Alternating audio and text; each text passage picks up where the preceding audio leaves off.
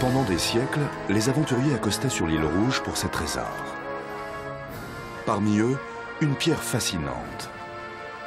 La tourmaline, réputée par les natifs pour renforcer les dons occultes.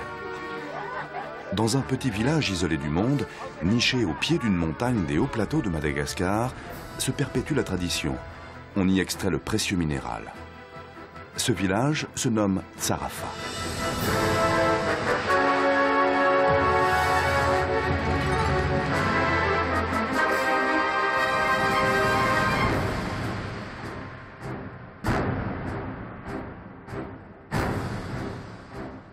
J'ai arrêté à Madagascar, c'était à peu près fin de 1965, et j'ai pris un livre. C'était La minéralogie de Madagascar, et je lis d'un gisement de, de, béryl avec un produit à côté tourmaline qui s'appelle Anzanabunouin. Et j'ai lu que là, il y a des gros pierres de tourmaline extraordinaires, tout ça. Voilà, nous sommes allés avec notre Land Rover euh, sur la route, euh, dans le haut plateau, jusqu'à un petit village qui s'appelle euh, Ambouinanamboul. Au fin du troisième jour, nous sommes arrivés à une colline et c'était, il était déjà très obscur, la nuit a commencé à tomber et le ciel était noir, c'était le commencement d'un grand orage. On a fait rapidement le temps, pendant la nuit, la pluie, la pluie, l'orage, tout ça, les éclairs. Avec la, pluie, ça avait, lavé la terre, c'était plein de tourmalines. Plein de tourmalines, j'ai pensé, mon Dieu, c'est un miracle parce que euh, qui a une découverte comme ça, c'était le Eldorado. La tourmaline est la gemme qui offre la gamme de couleurs la plus riche du monde minéral. Toute la palette des couleurs est représentée, y compris les multicolores. La variété rouge est la rubellite.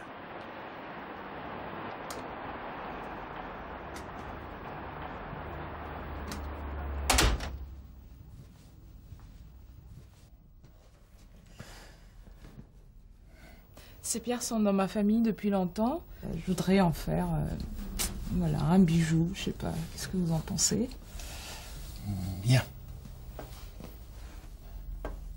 Alors, ce sont des belles matières qui a déjà été sciées et C'est c'est superbe. Il y a des parties irisées là. Tourmaline polychrome de Madagascar, qui sont vraiment les plus belles. hein. Madagascar est une grande île, traversée au sud par le tropique du Capricorne. Sa population de 15 millions d'habitants est composée de 18 groupes ethniques nommés Karazabé, dont les trois quarts vivent dans les campagnes. Le socle cristallin, qui occupe les deux tiers du pays, fournit une variété incomparable de gemmes dont l'exploitation n'est pratiquement jamais industrialisée. L'île est baignée à l'ouest par le canal du Mozambique qui la sépare du continent africain et à l'est par l'océan Indien. Il y a mille ans, Madagascar était recouvert d'une épaisse forêt vierge dont une grande partie a disparu. Les magiciens et envoûteurs y récoltent encore des herbes et des racines aux vertus médicinales. Très souvent, les minéraux sont associés à ces remèdes. Sur les marchés locaux, les médecines traditionnelles côtoient les fruits et les légumes et font partie de la vie courante du pays.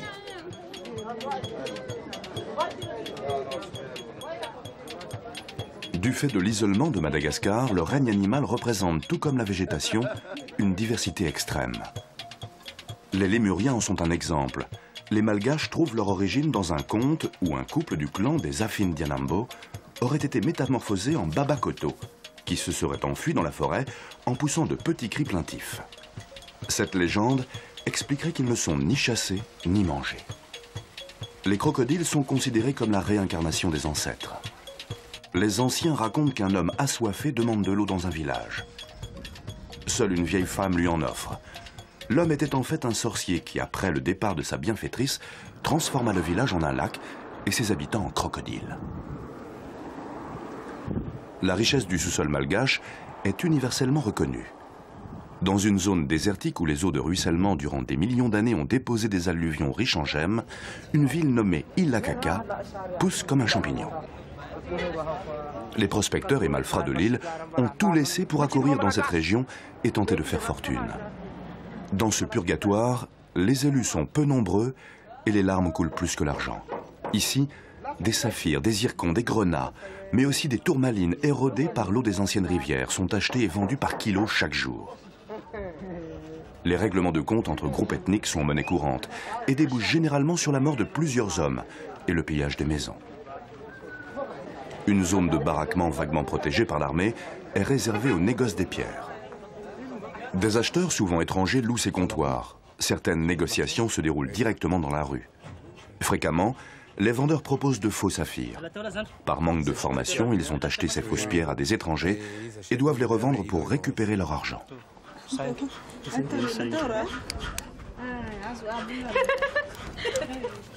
millions. 70 millions la pièce. Elle a quand même un défaut. hein.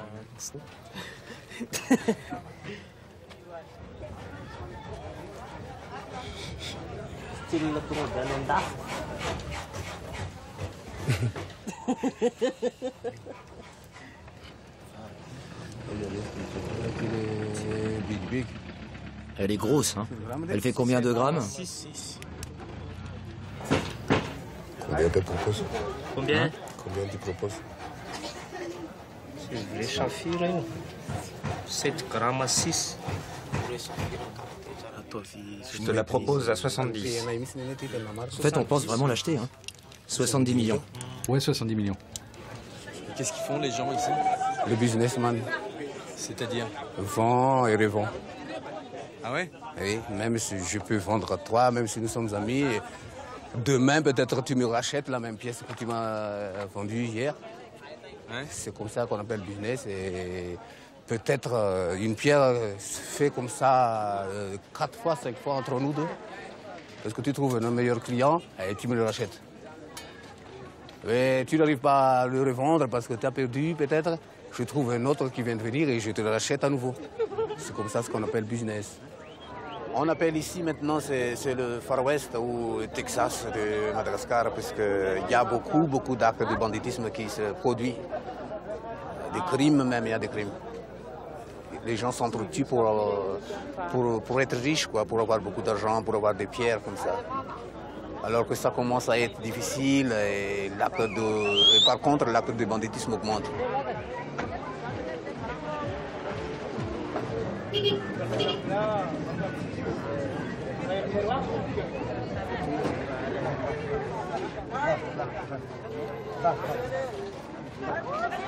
Des pierres, oh, il y en a plein, il y en a plein. Il y en a de tout, il y a du béryl, du cristal. Le grand numéro du monde, je crois que c'était ici. Hein. Le numéro de Mananzar, là, quelques kilos, c'était en 80, 90 kilos à peu près, comme ça.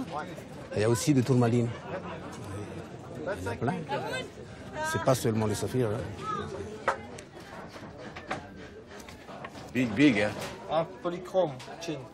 Euh, 400 000. Ah, la pelote. Mais Mais au prix, au prix. 50 par an. Ah, Tata Kadel. Tinarna manana. 350 Ah, ah, 50 par an par an. Ah, Guicha Marar, Smith. Une autre fois, là. Hein. Ok. Ça marche pas bien, les affaires. Hein. Ça tourne mal ici, c'est pas comme avant. Et c'est très très dur. hein. Ah ben, il faut quand même euh, se débrouiller pour, euh, pour réussir.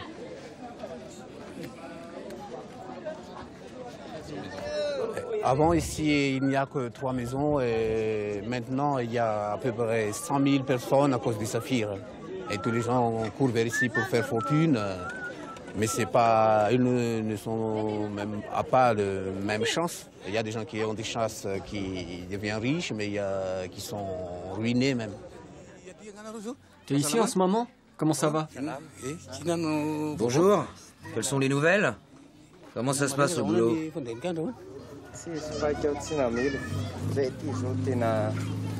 Ça ne va pas trop. Il n'y a plus d'argent parce qu'on a acheté du matériel. Nous avons vendu à Tuléar le peu de pierres qui nous restait. Nous n'avons plus d'argent. Et comment vous avez perdu votre argent? C'est à cause de la guerre civile. On a juste eu le temps de partir. On n'a même pas pu emmener tous nos matériels. Je suis contente de voir, de retrouver une de mes connaissances. Ici, je suis vraiment désemparé. Qu'est-ce qu'il faut faire? Quelle stratégie adopter maintenant?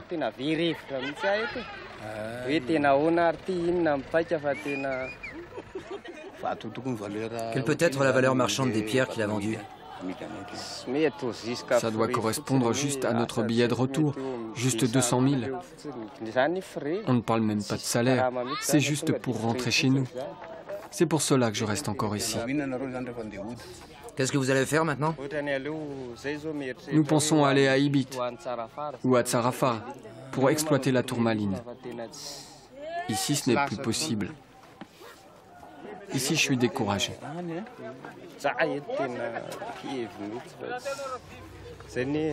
Nous avons eu un peu d'argent avec lequel nous avons acheté le matériel, mais après, il y a eu tellement de désordre. Là, mon copain est parti sur Tuléa et j'essaie de trouver un taxi brousse pour aller le chercher. À trois heures de route d'Ilakaka, Tuléar est une ville balnéaire. C'est l'endroit idéal pour vendre des pierres à très bon prix aux touristes qui n'y connaissent rien.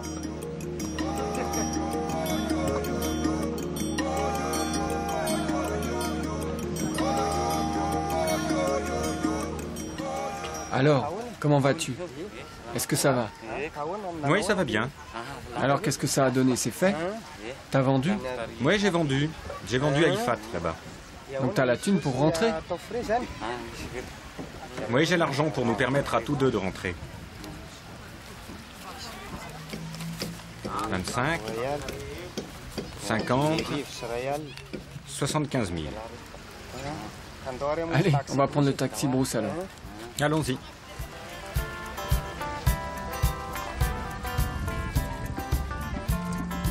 Il faudra deux jours de taxi brousse pour rejoindre la région d'Ansirabe et une journée de plus pour le village de Tsarafa. Ce village est isolé du monde moderne. Aucune voiture ne peut y accéder.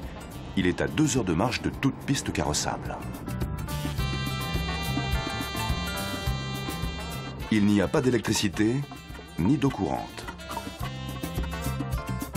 Gabi vit ici depuis son enfance et sa principale activité, en dehors de sa vie familiale traditionnelle, est l'exploitation des mines de tourmaline. Son père les exploitait avant lui.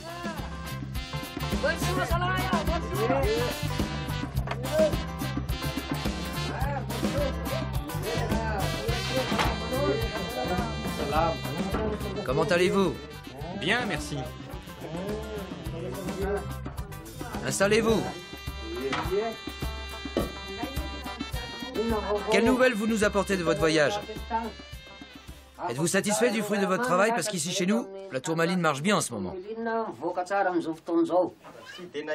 Le résultat n'est pas concluant, ça n'a pas porté ses fruits. Hélas, j'ai pas pu vous retenir. Vous avez voulu faire fortune au loin, rapidement. Et pourtant, sur notre terre, la tourmaline commence à donner quelque chose. Comme dit le proverbe, il faut rentrer la tête haute, même si on a subi un échec. Maintenant, il faut s'appliquer à bien exploiter la tourmaline.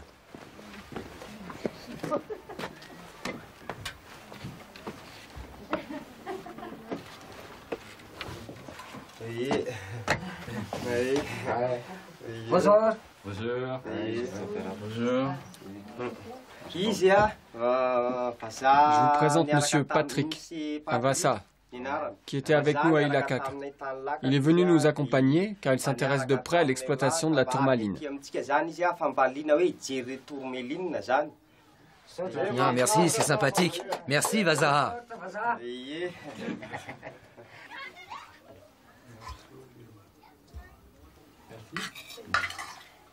Alors il paraît que quelqu'un passait par ici et trouvait le village isolé.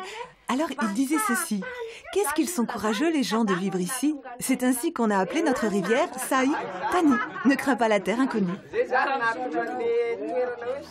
Euh, Monsieur Patrick, euh, Monsieur Patrick, euh, j'ai 40 ans. Euh, non, euh, 60 ans. Ça fait 40 ans que j'extrais la tourmaline.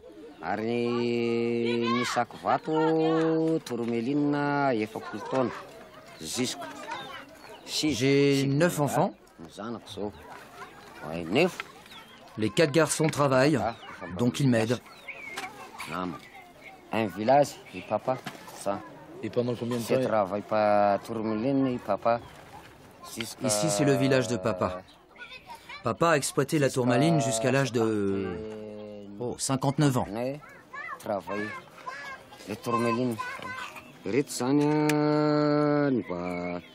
Voici les tourmalines que nous avons extraites depuis une semaine sur la carrière de Tsarafar. L'origine du nom tourmaline vient du singalais Toramoli, ce qui signifie littéralement petites choses qui sortent de la terre. Cette appellation fait certainement référence à la propriété d'attirer de petites particules de cendre lorsqu'on approche un cristal au voisinage d'un foyer éteint. Il s'agit d'un phénomène piézoélectrique. Dans le village, pour fêter le retour des enfants, on organise une corrida. C'est aussi pour montrer aux jeunes femmes le courage de leurs futurs époux. Gabi ne manque pas d'arroser la cérémonie du rhum traditionnel considéré ici comme de l'eau bénite.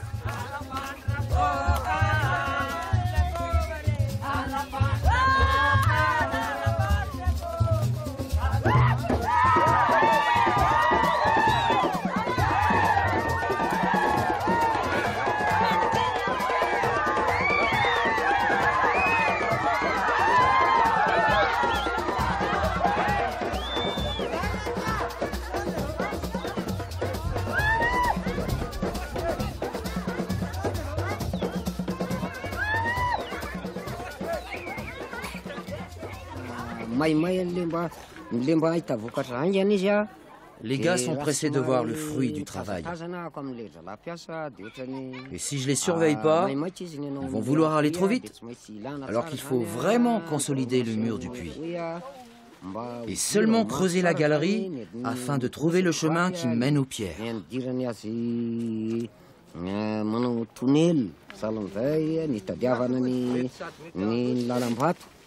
On risque de trouver quelque chose La baramine est assez usée. Où sont les allumettes Vas-y, emmène les allumettes. Est-ce que tu les as Les voici, je vais éclairer devant vous. Les allumettes ne suffiront pas, il faut des torches et des bougies. Voilà une bougie. Il est où le rhum?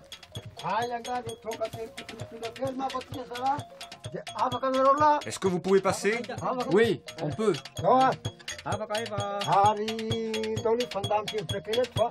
Les tourmalines se sont formées il y a plus de 500 millions d'années. Leur localisation suivait une ceinture de roches traversant le Gondwana, continent originel. Après sa rupture, l'Amérique du Sud, l'Afrique, Madagascar et le Sri Lanka se séparent et emportent dans leur migration les gisements de tourmalines. La dérive des continents explique donc la parenté des tourmalines de ces pays.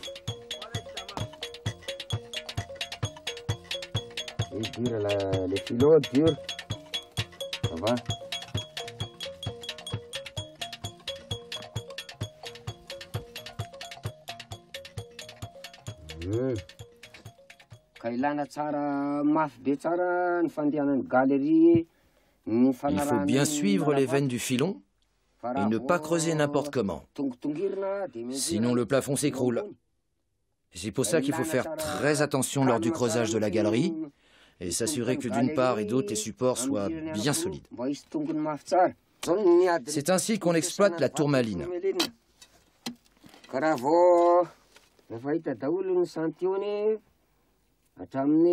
C'est comme ça qu'on extrait la tourmaline, et dès que des échantillons de tourmaline noire ou filons apparaissent, nous espérons vraiment atteindre la poche.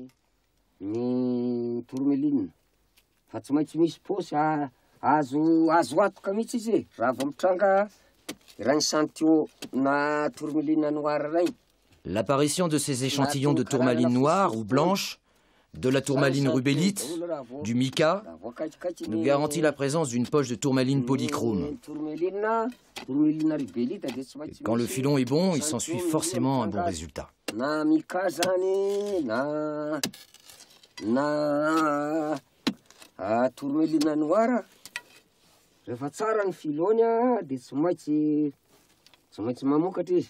Je vais rentrer maintenant.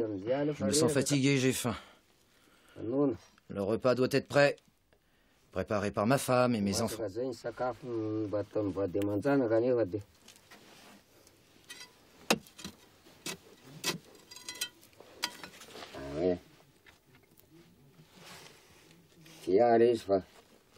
Ah, la chance me sourit.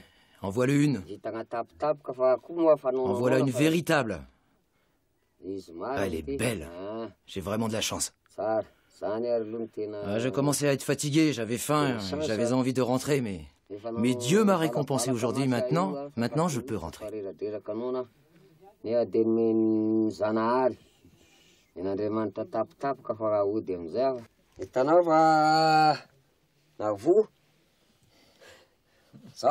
Eh, tu vois? Eh, tu vois, j'ai réussi, regarde. Elle est comme ça, la tourmaline ici. Avec de la chance, on peut toujours réussir.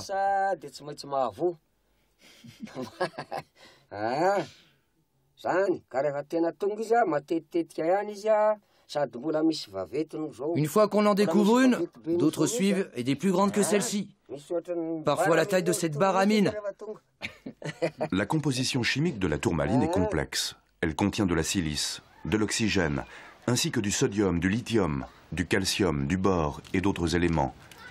Ce qui faisait dire à John Ruskin, sa chimie ressemble plus à une prescription d'un médecin du Moyen Âge que la constitution d'un minéral respectable. Oh, ne crains rien. N'aie pas peur. Tu viens avec moi consulter à Cyril, l'astrologue, pour notre sacrifice de demain.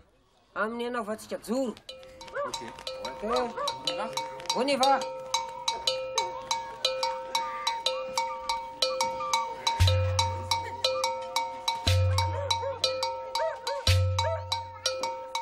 Gabi n'est pas très satisfait de ce qu'il trouve actuellement dans sa mine. À Tsarafa, la seule solution rationnelle pour faire avancer les choses est de consulter le sorcier.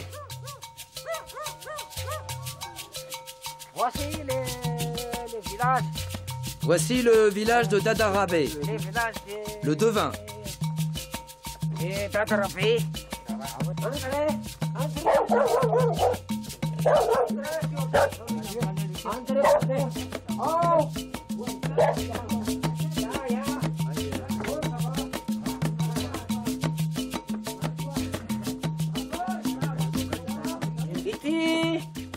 Je vous présente Patrick, un ami étranger, un Vaza, que nous allons inviter à s'amuser à faire la fête avec nous. Il va nous aider à la construction de notre gisement. Je vous demande à vous, les aînés, de bien vous amuser avec lui car il est sympathique. Et ce Vaza est notre frère. C'est entendu.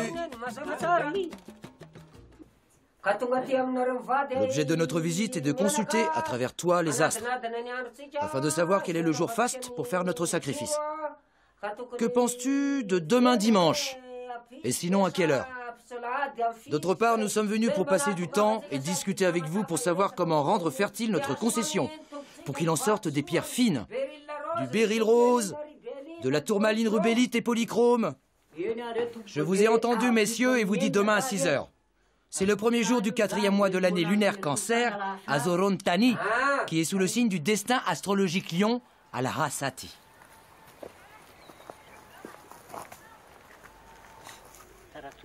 Sois béni. Nous voici tous réunis pour prier et rendre hommage à Dieu pour cette terre sacrée qu'il nous a confiée. Nous tous qui sommes réunis ici te prions de nous accorder l'exploitation de la terre pour trouver de la tourmaline. Donne-nous la bénédiction et exauce nos prières.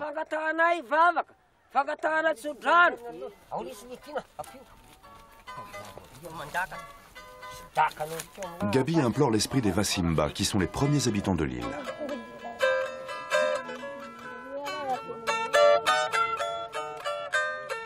C'étaient de petits hommes à la peau claire proches des pygmées. Les villageois les considèrent maintenant comme des dieux. Ils leur offrent des sacrifices et les consultent dès qu'un problème se présente.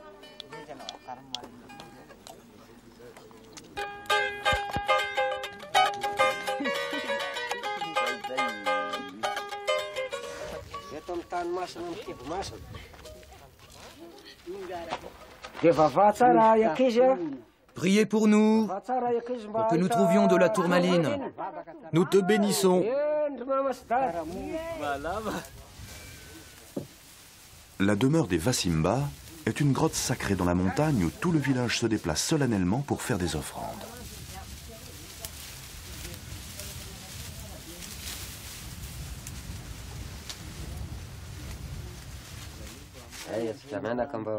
Assis-toi près de moi, devant cette maison des princes.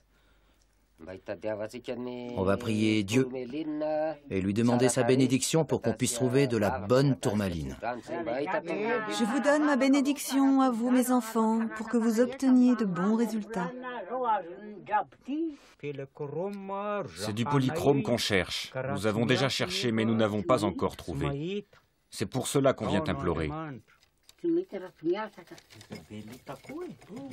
On cherche aussi de la rubélite, de la tourmaline polychrome. Voilà ce que nous te demandons. Je vous bénis et bonne chance. Chaque village malgache organise sa vie sociale en fonction des fadis. Ce sont des interdits que seuls les plus âgés ou les sorciers ont le droit de lever. Les enfants de Gabi peuvent chercher des tourmalines aujourd'hui, mais pas demain car c'est jeudi. Et le jeudi, c'est Fadi. La prospection et l'ouverture de nouvelles galeries se fait empiriquement, en creusant sous une tache d'argile blanche due à une fourmilière ou un terrier. Il arrive même qu'un puits soit creusé simplement parce qu'un cristal a été ramassé sur le sol, les agents atmosphériques l'ayant sorti de l'argile.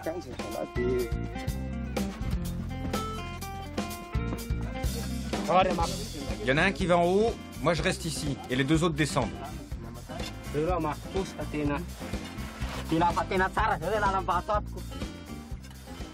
La baramine et la pelle sont les instruments utilisés pour la recherche de cette gemme. Les tourmalines se trouvent dans une roche en décomposition assez friable. C'est le plus souvent dans le kaolin que l'on trouve des spécimens intéressants.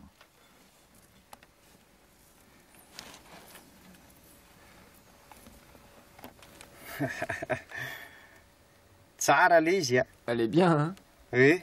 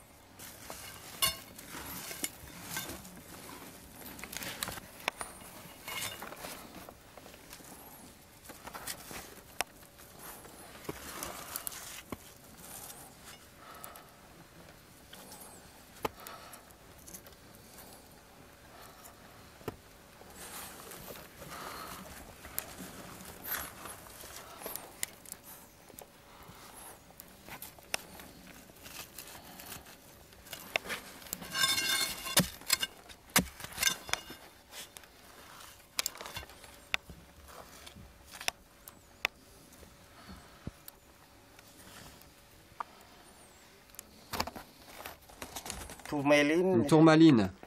Elle est entière. Le sacrifice et les incantations n'ont pas été vains. Les fils de Gabi sont dans le filon et la récolte est plutôt bonne.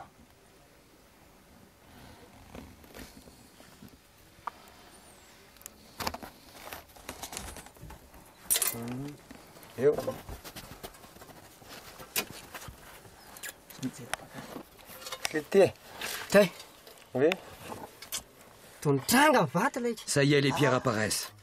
Regarde comme elle est belle. Regarde.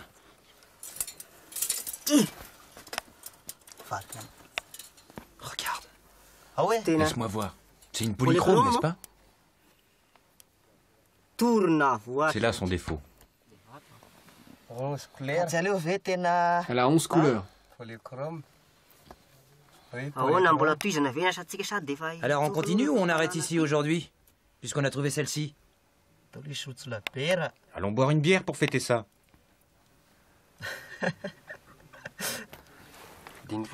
Montre-la bien, voilà. Très bien. Très bien.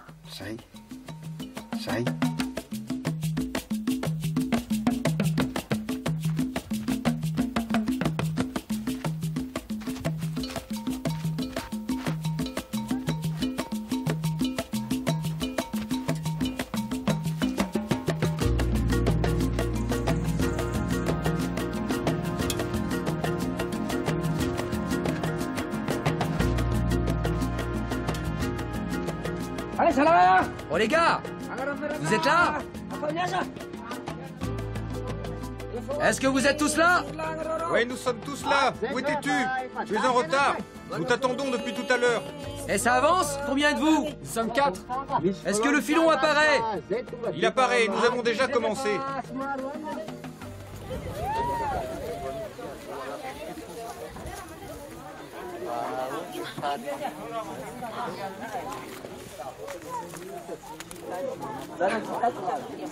À Tsarafa, l'exploitation de la tourmaline n'est pas une activité constante. On extrait la gemme en fonction des fadis, mais aussi des besoins d'argent de la communauté. En effet, l'argent des pierres ne sert pas à nourrir le village. Il est utilisé pour acheter du matériel, pour faire des constructions ou autres besoins complémentaires. La nourriture est généralement fournie par les cultures et l'élevage.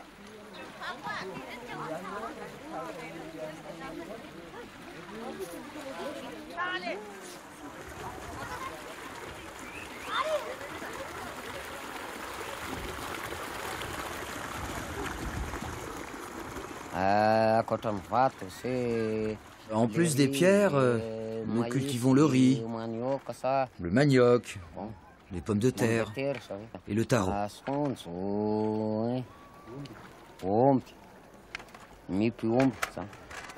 Nous élevons aussi des ébus.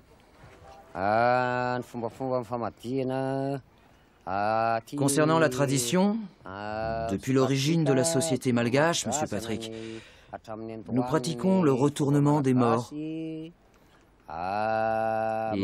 à cette occasion, nous tuons des ébus, euh, des cochons. Nous recouvrons d'un linceul le mort. Ce sont des pratiques ancestrales. Nous regroupons toute la famille en un seul endroit.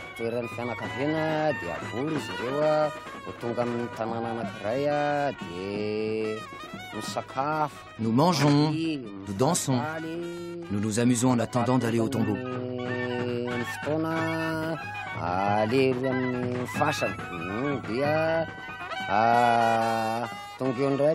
Et une fois qu'on y arrive, on fait venir les musiciens, les flûtistes, pour que les enfants puissent danser et voir le changement de linceul des ancêtres qu'on sort du caveau. Et à ce moment, ils dansent et aspergent de rhum les ancêtres.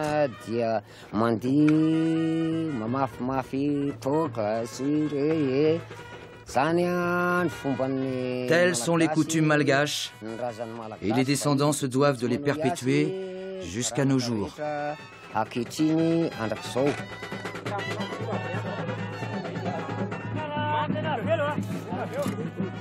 Les vivants communiquent avec les défunts, et c'est à cette occasion que l'on organise le retournement des morts, le famadine.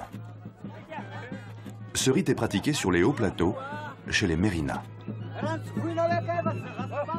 Gabi a rêvé de son père. Il lui a longuement parlé de la mine. Mais surtout, il lui a confié qu'il était mal dans son tombeau. Gabi et sa famille lui ont donc organisé un famadine.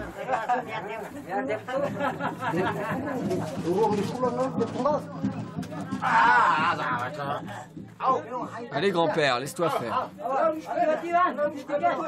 Allez-y, soulevez-le. Comme ça. On y va.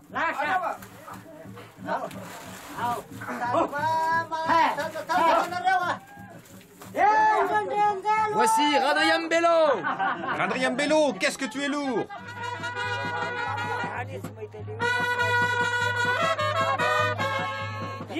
Et voici grand-mère Ramaro. Et le suivant, c'est Ramanana.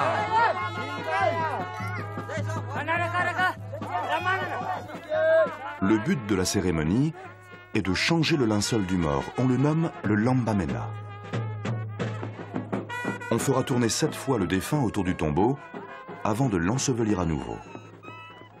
Le vieux linceul est un symbole de fécondité. Il sera partagé entre toutes les femmes. Dans la région, on cherche des tourmalines partout, même dans les alluvions de la rivière qui alimente en eau le village. Elles ont été arrachées aux montagnes environnantes par les eaux de ruissellement.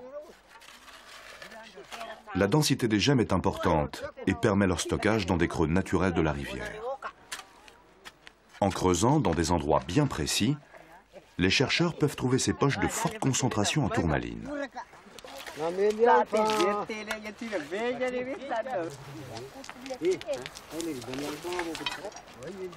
Quel prix tu proposes pour ces pierres? 60 000. Non, ça ne marche pas.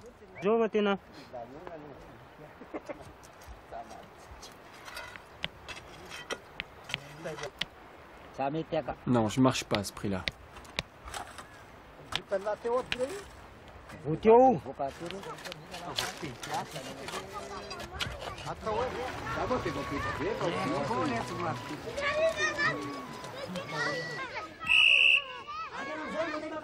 Rentrez dans la classe maintenant.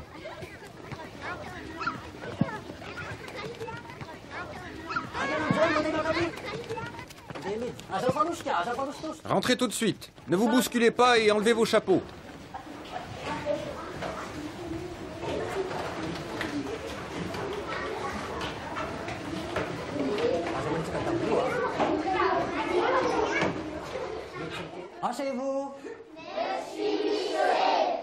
Je suis arrivé ici depuis 1993. On a commencé à Giro. Il n'y a ni porte ni fenêtre. Mais en ce moment-là, euh, la carrière, la carrière a, produit hein, euh, beaucoup de, comment dire, des pierres précieuses. Et les gens qui travaillent, ils donnent des cadeaux, des cadeaux ici, et on a réparé. Et toutes les années, euh, nous faisons des festivités, festivités scolaires ici, et on répare, ainsi de suite, ainsi de suite. Et finalement, le, gouvernement a donné des tôles, des ciments pour les dallages. On a commencé par la boue ici. ah. Et, puis les tableaux noirs. Et petit à petit, ça s'arrange comme ça. Des pierres proviennent de ces montagnes là-bas. Elles vont servir à édifier cette école.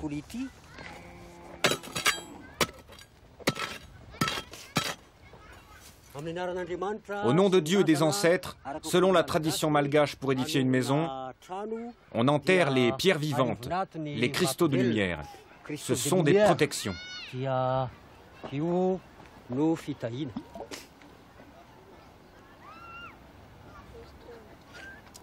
Vita, de de. Dia. C'est fini. Viens d'Adagabi pour boire un coup, ainsi que d'Adapol.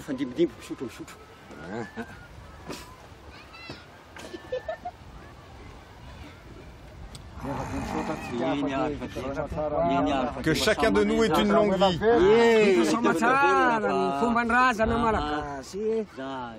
La tradition a été bien respectée. Que vous soyez tous bénis et que tout ce que nous entreprenions aboutisse.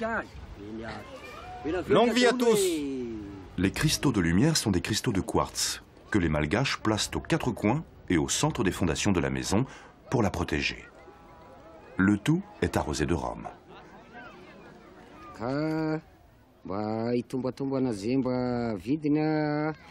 Nous allons estimer ces pierres et essayer de les vendre sur le marché d'Ibit, car elles sont de très bonne qualité.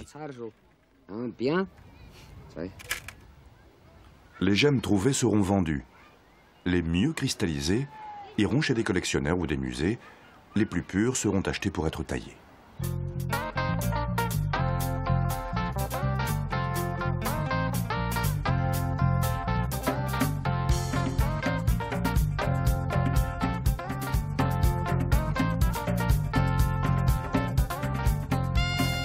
Tous les lundis, au pied de la montagne Ibit, s'organise un marché aux tourmalines.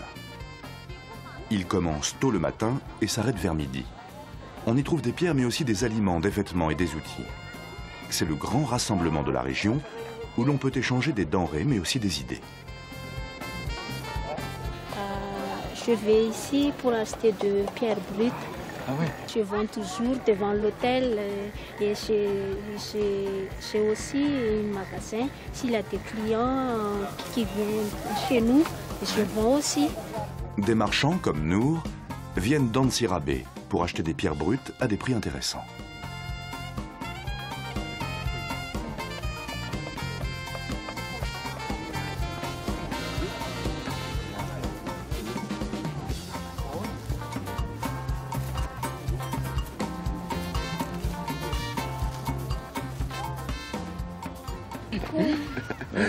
15 000 maximum.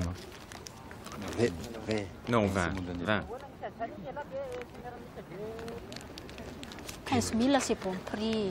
C'est un prix vasard. hein, La raison, c'est que ce sont des pierres de collection.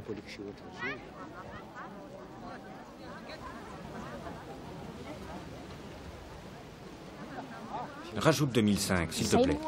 S'il te plaît, ne surenchéris pas. Je dois les revendre. C'est mon dernier prix. En plus, tu feras une bonne action pour nous. Quel est le nom de cette pierre? Nour a commencé le commerce il y a à peine deux ans. Au démarrage, elle ne prenait que des pierres confiées par d'autres marchands qu'elle vendait avec un petit pourcentage. Maintenant, elle fait tous les marchés de pierres de la région pour se constituer son propre stock. Les marges sont beaucoup plus intéressantes quand on achète directement aux mineurs, mais le risque est plus grand. Il faut bien connaître les pierres. Il est 10 heures du matin, Nour a fait son tour. Elle a vu et a acheté tout ce qui l'intéressait ici. Maintenant, elle doit se rendre dans un autre marché à une heure de taxi brousse.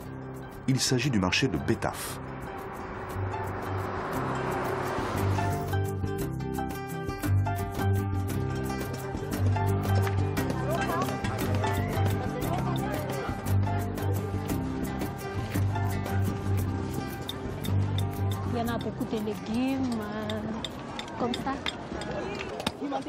C'est un marché plus important que celui d'Ibit.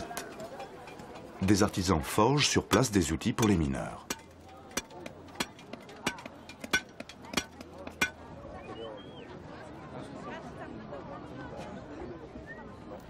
Ce n'est pas exactement comme celle-ci. Il recherche une tourmaline cristallisée, sans cassure, qui n'a pas subi de choc. Je trouve qu'elle n'a pas été endommagée. Il en cherche une avec une plus grande surface.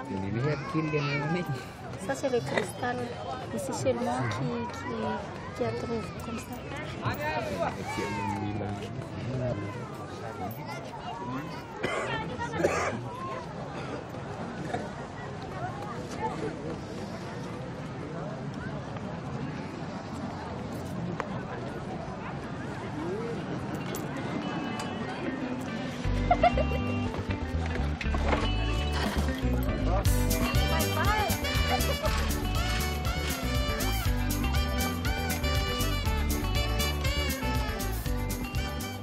Ansira Bay est le berceau de l'ethnie Betsileo, dont l'origine est asiatique.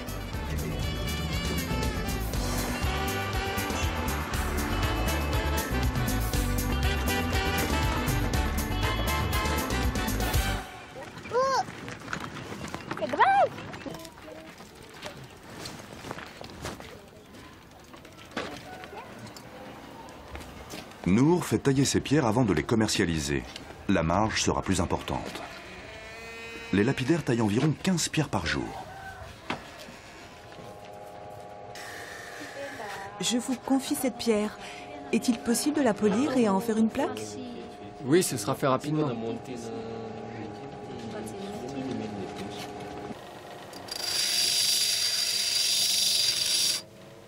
Les tourmalines polychromes sont coupées perpendiculairement au cristal. On obtient ainsi des tranches qui sont polies. Les meules doivent être changées plusieurs fois, en utilisant un grain de plus en plus fin pour obtenir un polissage parfait. Ce travail demande une grande attention, car la tourmaline est un minéral fragile. Ceci est dû en partie aux inclusions qu'elle renferme, qui sont des canaux creux parallèles les uns des autres.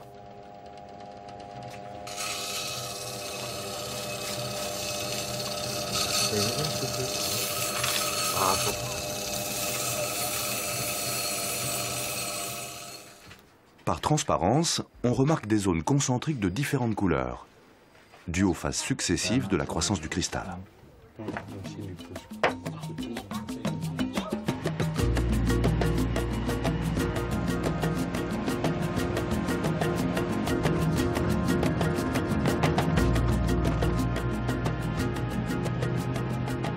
Antananarive est la plaque tournante où arrivent les pierres venant des différentes régions du pays.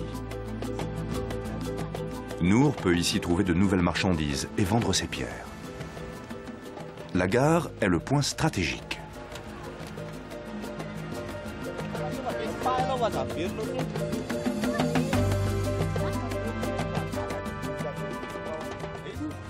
Montre-moi ça. C'est du quartz rose?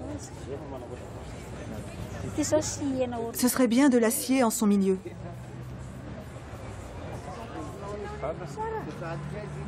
C'est 75 000. 75 000, c'est ça Elle est étoilée. Montre-moi où. Ici, regarde. Il faut la séparer en deux.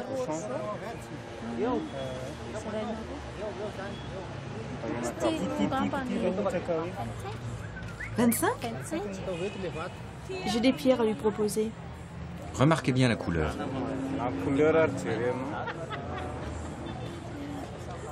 Je recherche des cabochons. Peut-être comme celle-ci. Regarde bien ce qui peut l'intéresser. Et des pierres brutes, ça peut t'intéresser Oui. Tout ce que vous avez à faire, c'est brosser. On la brosse comme ceci Et ça deviendra tout propre. Cela pourrait m'intéresser. Dis-moi où tu peux trouver des pierres comme celle-ci. Je veux des pierres de collection. Elle a été extraite telle qu'elle et n'a subi aucune intervention humaine. Ce que je veux, c'est vraiment une pierre de collection. Malheureusement, elle est légèrement cassée. Oh, ça, c'est rien, on peut la rectifier. Ah non Dis pas de bêtises, sinon je me fâche. C'est chez les marchands qui exportent que Nour aura le plus de chances de vendre la totalité de son stock de tourmaline polychrome. Ah, bonjour. Bonjour, monsieur. Salut Nour. J'emmènerai une petite paire pour vous si, si Ouais, vous ouais, bien sûr, on peut jeter un coup d'œil. On va regarder ce que vous avez réussi à apporter. Mieux des petites pierres jolies que des grosses pierres moches. Petite mais jolie, hein. Bah oui. Et pour comme ça, c'est... Et les polychromes, là, c'est dans des gisements différents de celle-ci, des gemmes. Et avant, j'avais trouvé, moi, des tourmalines avec la tête, la terminaison plate, la tête plate et un peu bleu. Bleu, rose, vert. Super, super, super. Ouais, je trouve, moi, la, tourmaline une pierre euh, fantastique et euh, très intéressante parce qu'il y a une grande variété de couleurs. Pratiquement toutes les couleurs sont possibles. Du blanc, euh, du blanc jusqu'à la noire, évidemment. Les clients qui cherchent des plaques de tourmaline, il y a un peu partout dans le monde. Mais traditionnellement, ce sont les Allemands qui sont les plus consommateurs des plaques de tourmaline. Moi, j'ai des bons contacts avec des clients allemands qui demandent toujours ça. Je suis allé à Idar et à Idar Oberstein et j'ai vu des collections de plaques de tourmaline polychrome fantastiques. Pour la plupart malgaches, pour la plupart anciennes malheureusement, mais des choses fantastiques. fantastiques. Les marchands de Antananarive qui exportent dans le monde entier utilisent des moyens sophistiqués pour travailler les gemmes. Ils reçoivent chaque jour des dizaines de kilos de minéraux, dont des tourmalines. La sélection des pierres brutes et des pierres taillées est faite avec minutie. La couleur, mais aussi la forme sont importantes en fonction des différents acheteurs et des différents pays d'exportation.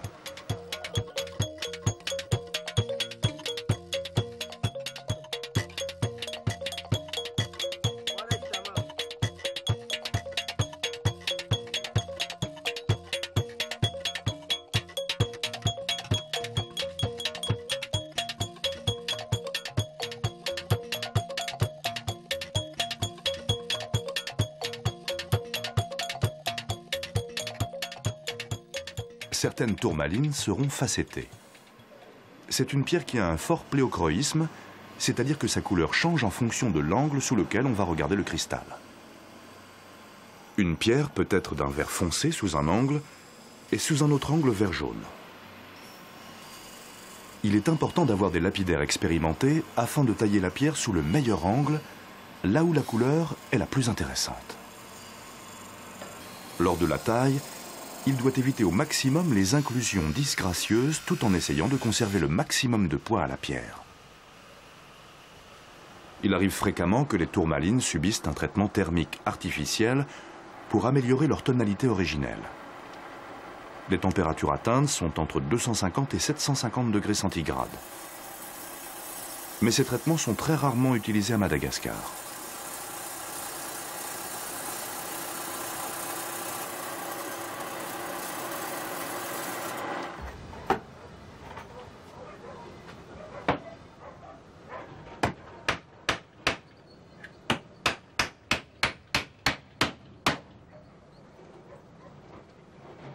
Importé des tourmalines de Madagascar à Idar-Oberstein et euh, la ville d'Idar-Oberstein, pendant presque dix années, on a vendu des pierres aigrissées, des pierres martelées, des pierres sciées pour le marché ici. Il y a pas mal de gens qui ont vécu très bien longtemps de cette grande découverte euh, de tourmaline.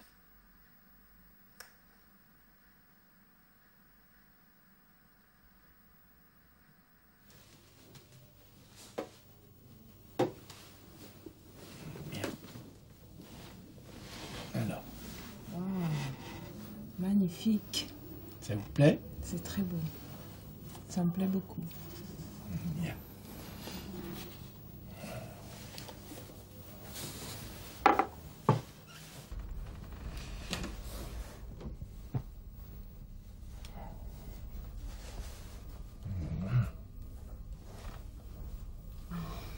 C'est très beau.